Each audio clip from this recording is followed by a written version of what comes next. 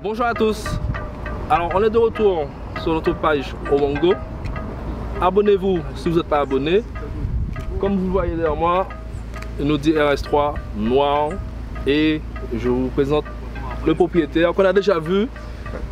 On a déjà vu, donc euh, c'est encore moi. Euh, donc j'ai pas mal participé à la préparation de cette voiture là, donc euh, c'est pour ça que je la présente. Donc voilà, je vais vous montrer, donc c'est une RS3 Sportback. Si vous avez toujours regardé les vidéos de Wongo, il y avait une RS3 8P que j'avais présentée et maintenant celle-là c'est la 8V. Vous voyez que c'est différent, c'est complètement différent. Il y a une belle touche de modernité. C'est une RS3 400. Ouais, 400, c'est ça, exact. Euh, c'est l'avant-dernière génération. Les stickers, enfin, les couleurs dorées, c'est une touche personnalisée Exact, exact. Ou c'est vraiment Audi? Non, c'est plus personnalisé. C'est personnalisé, en fait, euh, de base, elle est toute noire. Et je trouvais que ça faisait trop euh, Audi A3 en fait. C'était trop discret pour la voiture que c'est, donc je me Donc t'as voulu ouais, la sportivité, l'agressivité. Exact. Donc noir et doré, euh, je trouve que ça va bien ensemble, donc euh, voilà pourquoi on a fait ça. Les jantes aussi, il y a un rappel de couleur dorée sur les jantes.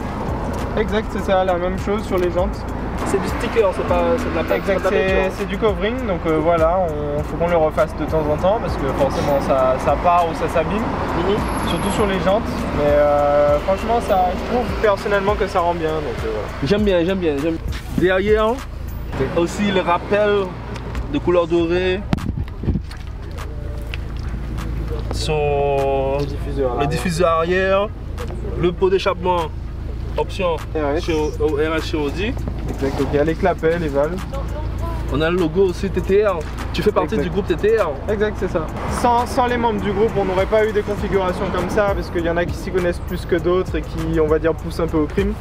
Et euh, du coup, merci à tous ceux qui ont aidé euh, à la préparation de ces voitures. Petit logo Venturi. On rappelle de la boîte à Exact, exact. C'est un stage 1, encore une fois. Donc euh, relativement simple. Il y, a sûrement moins de modifications que sur la Cupra, mais euh, c'est assez joli. Hein. Joli, joli, mais on a quand même quelque chose à voir là. Oui, ça va, c'est joli, c'est joli. Donc là, il y a l'admission complète euh, Eventuri. Donc euh, c'est le modèle overside, on va dire. Et, Avec une belle bouche de prise d'air. Voilà, exact. Donc ça va jusqu'à l'inlet de turbo. on peut voir aussi là sur les côtés. Récupérateur des vapeurs d'huile de la boîte. Et euh, en vrai, à part ça, il y a l'échangeur aussi qu'on voit derrière légèrement. Mais ça, c'est discret. Je vois que tu as un toit ouvrant aussi. Exact, ouais, toit ouvrant. Euh, au niveau de l'intérieur, c'est encore une fois d'origine. Il n'y a rien de rien à signaler à l'intérieur. Mais euh, ça reste joli. Le compteur dessus. Les palettes au volant qui sont toutes petites hein, chez Audi. Pas de, pas de rajout de palettes Non, non, non, non, franchement. Euh, Je me suis rappelé que sur l'ancienne vidéo, la présentation de ta Cupra, tu avais dit boîte moyenne.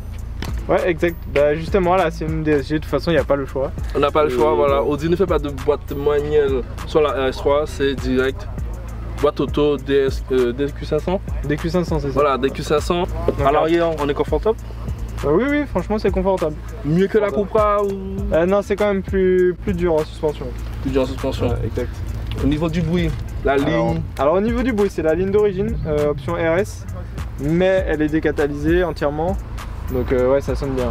Ça sonne bien, ça sonne bien. On l'entend peut-être de l'entendre Ouais, ouais, allez, on va essayer. Avec le mauvais temps, on est obligé de vous laisser.